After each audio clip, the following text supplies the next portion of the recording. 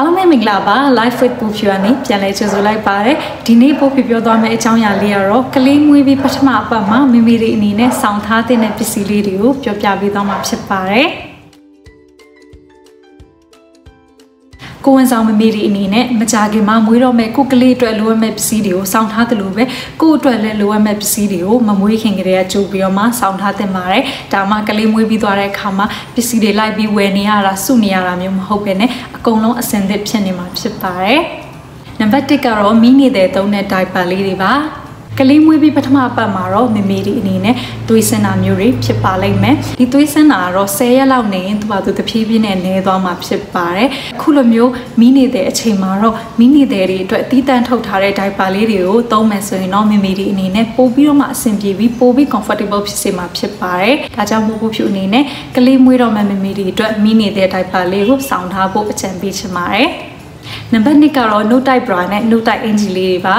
ဒီချိန်မှာမေမေကကလေးကိုမကြခဏဆိုသလိုနှုတ်တိုက်ရမှာဖြစ်တဲ့အတွက်ကြောင့်ကိုယ့်အတွက်နှုတ်တိုက်ရတာလွယ်ကူနိုင်မဲ့အင်ဂျီမျိုးတွေနှုတ်တိုက်ဘရာတွေကိုဝတ်ဖို့အတွက်ပို့ပြအကြံပြုချင်ပါတယ်နှုတ်တိုက်ဘရာရဲ့ size ကိုရွေးချယ်တဲ့နေရာမှာတော့ကိုကိုဝင်ဆောင်တဲ့အခါမှာ last ဝတ်ထားတဲ့ bra ထက်တစိုက်ကြီးတဲ့ bra မျိုးကိုရွေးချယ်ပြီးဝတ်ပေးပါဘာလို့ဆိုရင်ကလေးမွေးပြီးသွားတဲ့အခါမှာကိုယ့်ရဲ့မိခင်တို့တွေကတင်းတာမျိုးတွေပြီးတော့ကြီးလာတာမျိုးတွေဖြစ်နိုင်တဲ့အတွက်ကြောင့်တစိုက်ကြီးတာမျိုးတွေဝယ်ရင်တော့ပို့ပြီးတော့မှအဆင်ပြေနိုင်မှာဖြစ်ပါတယ်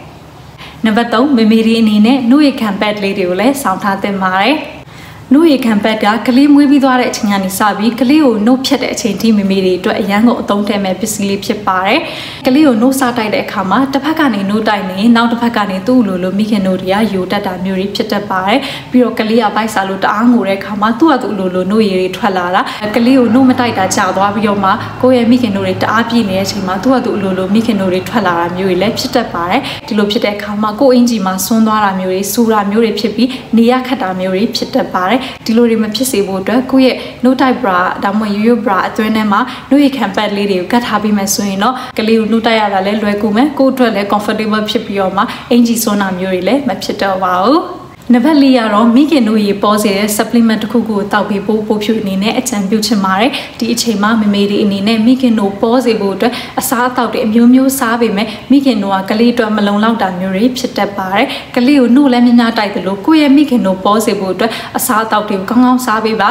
ပြီးရင်မိခင်တို့ပေါ်စေတဲ့ supplement လေးတွေကိုတောက်ပေးပါပို့ဖြူတော့ကတော့မိခင်တို့ပေါ်စေဖို့အတွက်ဒီတစိမ့်လေးကိုတောက်ခဲ့တာဖြစ်ပါတယ်တကယ်လည်းအကျိုးရှိတဲ့အတွက်ကြောင့်မမေတွေအကယ်၍မိခင်တို့နည်းနေတဲ့ကိုကလေးအတွက်မလုံလောက်ဘူးလို့ခံစားရတယ်ဆိုရင်တော့ဒီမိခင်တို့ပေါ်စီတဲ့ supplement လေးကိုတောက်ကြည့်ဖို့အကြံပြုချင်ပါတယ်နံပါတ်5ကတော့နှုတ်တိုက်ကောင်းဖြစ်ပါတယ်မိမိတွေအနေနဲ့ကလေးမွေးပြီးသွားတဲ့အခါမှာနှုတ်တိုက်ဖို့ပေးရတဲ့အချိန်ကကိုယ့်ရဲ့တနေ့တာမှာအချိန်အများကြီးပေးရတာဖြစ်ပါတယ်။ ဒီအချိန်အများကြီးပေးရတဲ့အခါမှာကိုယ့်အတွက်လည်း comfortable ဖြစ်တဲ့နဲ့ကလေးအတွက်လည်း comfortable ဖြစ်တာမျိုးဖြစ်တဲ့ပါတယ်။ဒါကြောင့်မို့အခုလိုမျိုးအချိန်မှာကလေးကိုနှုတ်တိုက်တဲ့အခါတိုင်းမှာနှုတ်တိုက်ခေါင်းလေးကိုသုံးပေးပါဒီလိုသုံးပေးခြင်းအပြင်မိခင်ရဲ့ခါနာတာမျိုးတွေမဖြစ်အောင်ကာကွယ်ပေးနိုင်တယ်ပြီးတော့ကလေးကိုလည်းနှုတ်တိုက်တဲ့အခါမှာသူလည်း comfortably အိပ်ပြီးတော့မှတောက်လို့ရနိုင်ပါတယ်။ဒါကြောင့်မို့ကလေးမွေးပြီးသွားတဲ့အခါမှာမိမိတွေအနေနဲ့နှုတ်တိုက်ခေါင်းလေးကိုတော့စောင့်ထားသင့်ပါတယ်။နံပါတ်6ကတော့ bike seat လေးဖြစ်ပါတယ်။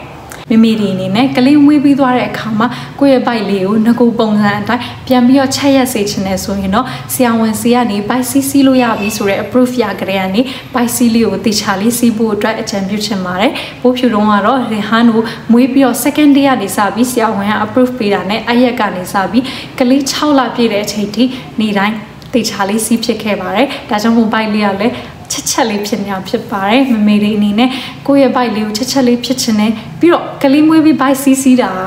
ကိုယ့်အတွက်လည်းနေရတာပို့ပြီးတော့မှ comfortable ဖြစ်တယ်မဟုတ်ရင်ဘိုက်ထဲမှာတခုခုလိုနေတယ်လို့မျိုးခံစားရတယ်ပိုးဖြူနေနေပေါ့နော်တခြားမမေတွေတော့မသိဘူးအဲ့ဒါကြောင့်မို့ပိုးဖြူတော့အမြဲတမ်းစီးဖြစ်တယ်မမေတွေအနေနဲ့စီးပေးမယ်ဆိုရင်ဘိုက်လေးကလည်းချက်ချက်ရရလေးဖြစ်ပြီးတော့ကိုယ်လည်းနေရတာပို့ပြီးတော့မှ comfortable ဖြစ်မှာဖြစ်ပါတယ်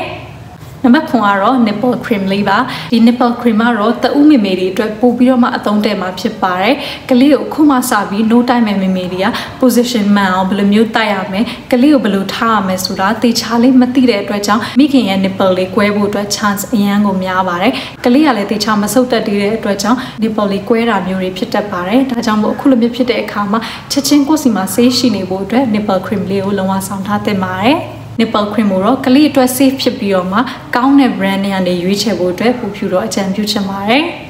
နံပါတ်၈ကတော့ breast pump ဖြစ်ပါတယ်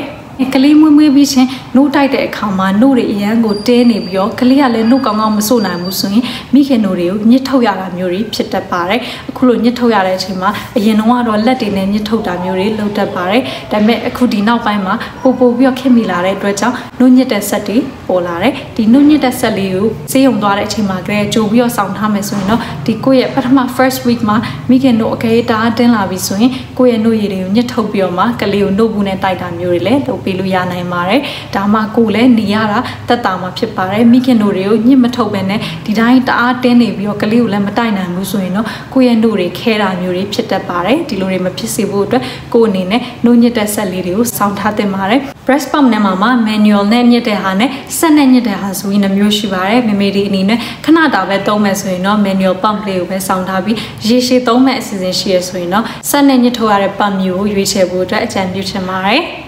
နောက်ဆုံးတစ်ချက်ကတော့ရင်နွေးအိတ်လေးဖြစ်ပါတယ်။ကလေးမွေးပြီးသွားတဲ့ပထမအပတ်မှာမိခင်တို့တွေခဏခဏတင်းပြီးတော့ခဲတာမျိုးတွေဖြစ်တတ်ပါတယ်။အခုလိုဖြစ်တဲ့အခါမှာကိုယ့်ရဲ့မိခင်တို့တွေပေါ်မှာရင်နွေးအိတ်ကိုတေချာလေးကပ်ပြီးပြီးတော့မှ breast pump လေးနဲ့တေချာ pump လုပ်မယ်ဆိုရင်တော့မမီတွေအနေနဲ့နေရတာတက်တာပြီးတော့မိခင်တို့တွေပိတ်နေတဲ့ဟာတွေလည်းမြန်မြန်လေးထွက်သွားမှာဖြစ်ပါတယ်။ဒါကြောင့်မို့ကလေးမွေးပြီးပထမအပတ်မှာတော့ရင်နွေးအိတ်လေးကိုတေချာပေါက်ဆောင်ထားသင့်ပါတယ်။ ဒီချက်လေးတွေကတော့ကလေးမွေးပြီးပထမအပတ်မှာမမေတွေအနေနဲ့ကိုယ့်အတွက်ကိုဆောင်ထားတဲ့ပစ္စည်းလေးဖြစ်ပါတယ်။ဒါအပြင်ပို့ပြအနေနဲ့မာဂျင်နာကတော့ရေမွေးတွေအမွှေးနှံပြင်းပြင်းတွေပါတဲ့ cosmetic တွေ lotion တွေလိမ့်တာမျိုးရှောင်ပြီးပါဒီအချိန်မှာကလေးကအရန်ကို sensitive ဖြစ်တဲ့အတွက်ကြောင့်ကိုယ့်ရဲ့ကိုယ်အနံ့တွေဒီလိုပြင်းတဲ့အနံ့မျိုးတွေကကလေးအတွက်လုံးဝမကောင်းပါဘူး။ဒါကြောင့်မို့အနံ့ပြင်းတဲ့ရေမွေးတွေအနံ့ပြင်းတဲ့ lotion တွေကိုမသုံးဖို့အတွက်ပို့ပြအနေနဲ့တိုက်တွန်းလိုက်ချင်ပါတယ်။ဒီနေ့ဗီဒီယိုလေးကတော့ဒါလေးပါပဲမမေတွေအနေနဲ့ဒီဗီဒီယိုလေးကိုကြိုက်တယ်ဆိုရင် like and share လုပ်ပေးဖို့အတွက်တိုက်တွန်းလိုက်ချင်ပါတယ်ဗီဒီယိုကိုဆုံးထိကြည့်ပေးလို့လည်းကျေးဇူးများတင်ပါတယ်